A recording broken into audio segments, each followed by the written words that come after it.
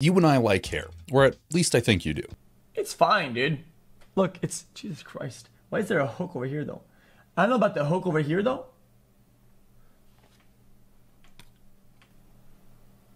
Jesus Christ.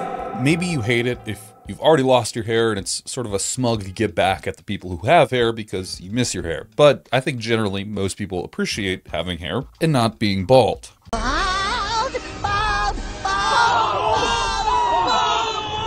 I have cared about my physical outward appearance for a lot of my life and continue to do so, as I think most people do, whether they like to admit it or not. Some people like to certainly claim that they don't care about what they look like or how they present themselves. I tend to think that those people just don't know what they're talking about, and really, most of us do care how we present ourselves on a day to day basis, depending on what kind of groups we're in. But there is a thing that you could do, you know, as far as like surgical or topical things like that. But I personally wouldn't stress on it. Massage it, give it a nice blood flow here as much as possible, and don't think about it. And you might think right now, Kolton, you're so vain. Like, no one gives a shit. Look, it, it doesn't matter how big and tough you are. At the end of the day, you care about your outward appearance. You care about how people see you, what they see you as, who they think of you as when they first look at you. And one of those big factors of your outward appearance is your hair. It does in fact, take up just about half of your head, unless you're Filion, and then it takes up your whole head and then some. In fact, according to this study, young women rated the same aged men, bald or non bald, as the bald men being less physically attractive and less socially attractive compared to their non bald counterparts. So, for someone who's interested in dropping themselves into the dating pool is like a little drop of water because it is so large, hair might be something you're interested in preserving and treating relatively well. Now, I don't have the best hair in the world, but I think I've done pretty good considering I have been on androgens for about seven years or so. And for those of you who are new here, Androgens is anabolic androgenic steroids. I am not like a lot of the people I cover and abuse it recklessly. I do use it when I am trying to compete in bodybuilding. Now I've kind of stopped, so that isn't happening as much, but still, my past is definitely catching up to me and does present a problem with my hair maintenance, as does pretty much everybody who does any form of androgenic anabolic steroids. And I know a large part of my audience, which to be honest, about one in three males in a gym are using anabolic steroids, at least statistically what's reported. So I imagine unreported numbers are quite higher. These drugs really do cause hair follicle miniaturization. This is an artifact of testosterone and specifically its metabolites and derivatives, acting on specifically the dihydrotestosterone or DHT receptors within your scalp. Essentially, they're androgen receptors. They're just in your scalp. I'm trying to simplify this, guys, okay? I'm just trying to fucking simplify this shit for you. This is why you typically see big guys who are bald with tattoos and huge muscles. Now, I know what you're saying, Kolton, you have tons of tattoos. Look, man, I've seen a lot of your comments, okay? I don't give a shit.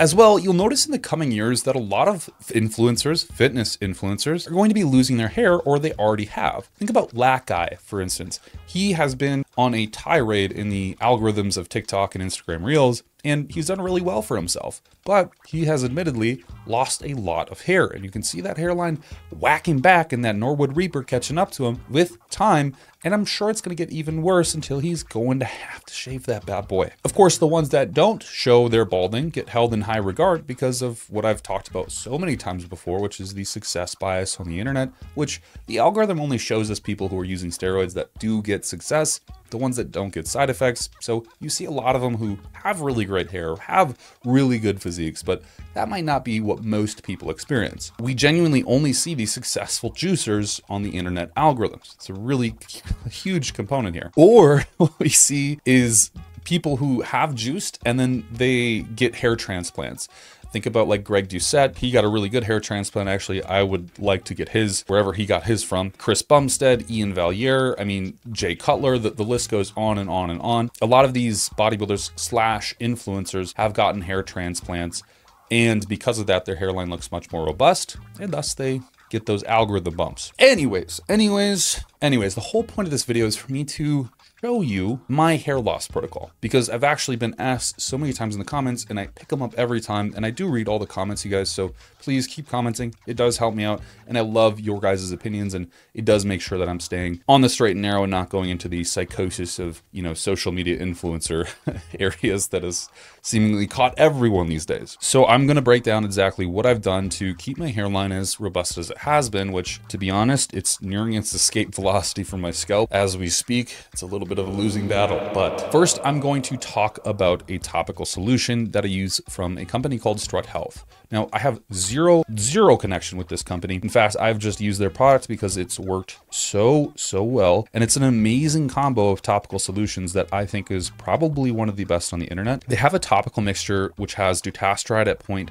minoxidil at 7.5%, tretinoin at 0.012%, fluocinolone, which is a anti-corticoid. It's a, a corticoid basically. It reduces inflammation localized to the skin, but specifically really useful at reducing inflammation on the scalp, which I think is one of the big things that actually is contributing to the hair health here. And occasionally they'll come out with products that have metformin in it as well, which actually acts as a really potent antioxidant, especially when applied topically, which is interesting and not many people have explored as a useful tool in hair loss. In terms of importance, I'm going to go from the most important thing down to the least important. I have for sure thought during my period of time that this is the one thing that's helped me keep my hairline really good. It keeps my hair thick and then it also really does create more saturation within my hair color. I'm actually not currently using it right now. I've been out of the USA for some time and just haven't been able to get it because it's a USA based company, unfortunately.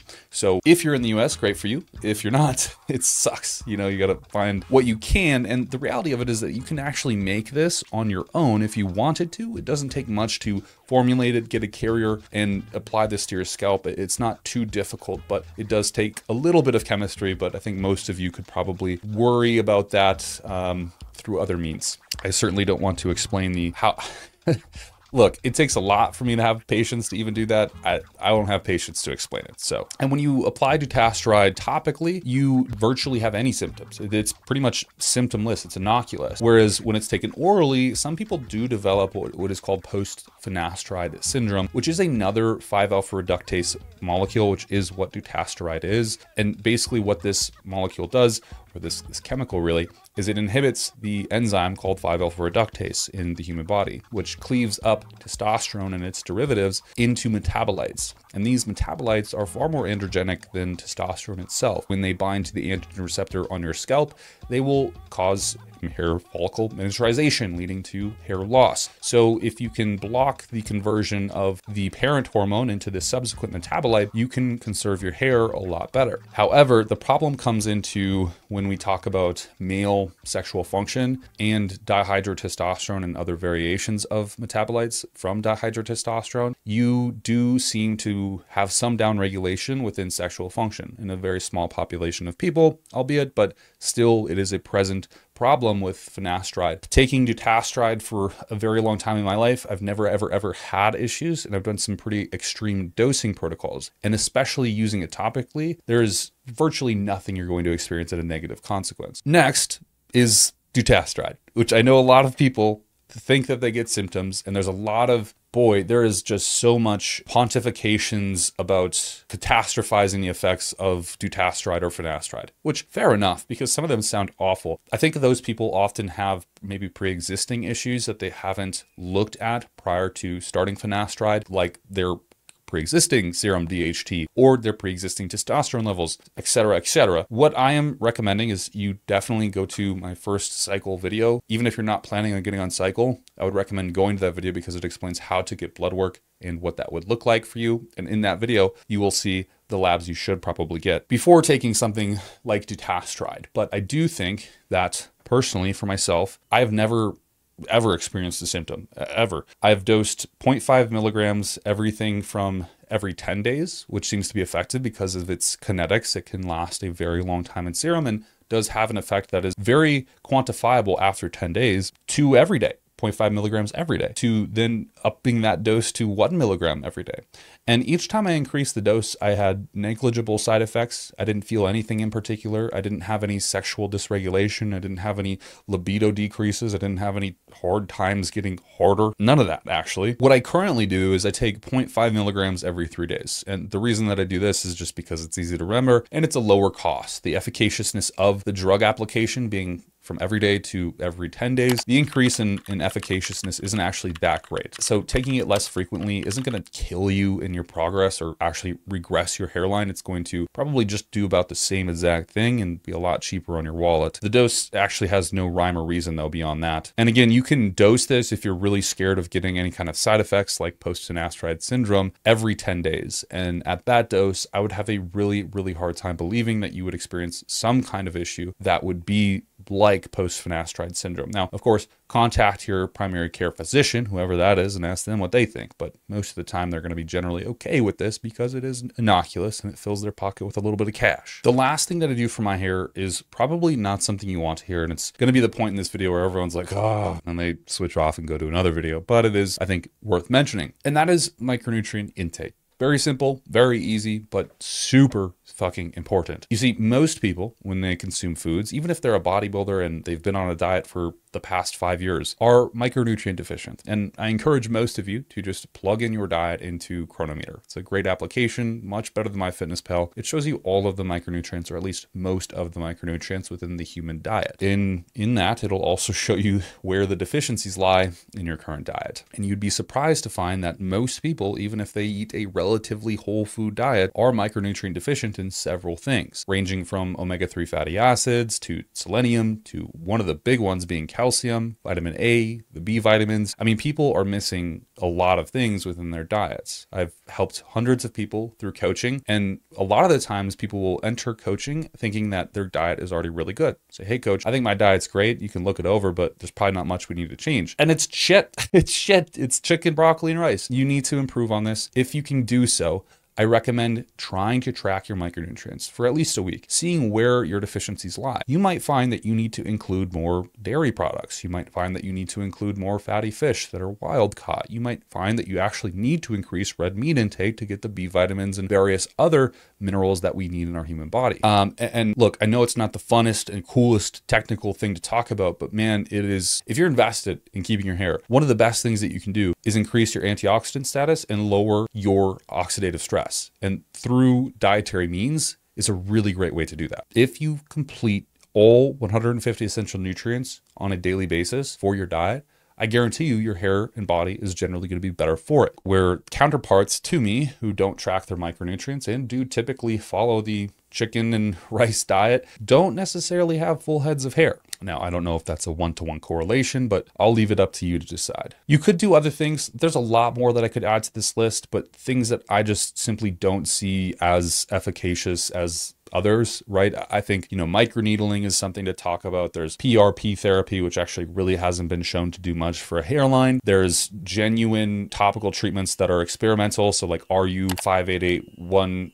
five or something like this. Uh, great peptide. I've used it in the past. It just generally makes my hair greasy and burns my scalp, so I don't tend to use it too much. But these things are out there and they do work. I just don't find them to be as sustainable and even reproducible in terms of the results and application. With what I do now, I can take it on a very regular basis. The topical hair treatment was just a once a day thing, which was super easy. You just take a shower, plop it on your scalp, and you move on with your day. And there's virtually no greasiness or grossness to your hair like with other topical products. The dutasteride tablets, very easy just to remember every three days or so. And then the other bits, nutrition is just something I'm trying to hone in on every single day already. And through these things, I believe that I've really been able to retain a very rigorous and sustainable hairline. It's not the best, like I said, like you see there's diffuse thinning here, but it's not horrible either. And I think a lot of people who would use you know, dihydrotestosterone derivatives for anabolic steroids would get much worse results typically especially if they're not taking care of these specific things. But if you did enjoy this video, like, comment, and subscribe. It does me a huge favor and it's completely free. It does help me get pushed in the algorithm, which supports this channel, and it means the world to me. And I truly do mean that. If you have any questions, throw them down in the comments below. Who knows, I might make a video about it in the future. And if you are interested in more hair loss stuff, we have a Discord group which talks all about fitness, pharmacology, and hair loss. So hook us up in there.